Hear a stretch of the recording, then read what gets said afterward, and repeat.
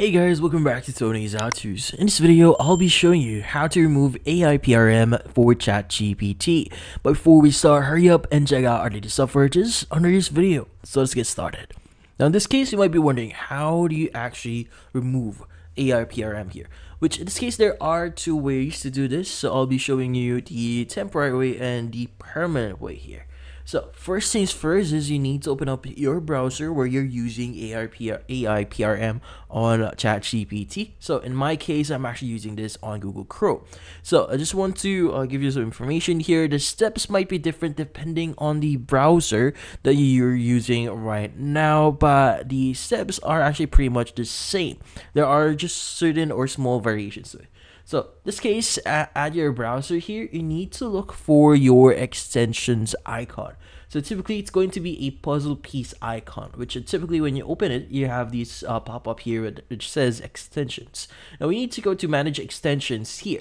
But in some cases, if you don't see it, you can actually go to the three dotted icon at the top right of your screen here and look for extensions again. And whenever you hover it, you have the manage extensions and the visit Chrome web store.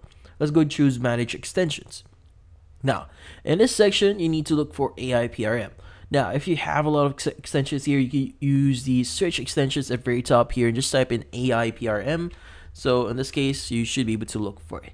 Now, the temporary way of actually removing it or kind of removing it is by to basically just disable it. So whenever you disable this, so let's just disable this one. As you can see, I'm using AIPRM on my ChatGPT. So whenever I refresh ChatGPT here, it will no longer use AIPRM. Now, in some cases, if you want to remove this permanently, because whenever I turn this back on, that should start, or ChatGPT should start using it again, which in this case, if you don't want to do that, you need to do this the permanent way. Now to do this permanently, you need to click on the remove button instead of disabling the switch here. So once you click on it, remove, click on remove again to confirm and that should remove that. And whenever we actually reload ChatGPT here, it's going to be the ordinary ChatGPT here, not the AI PRM UI.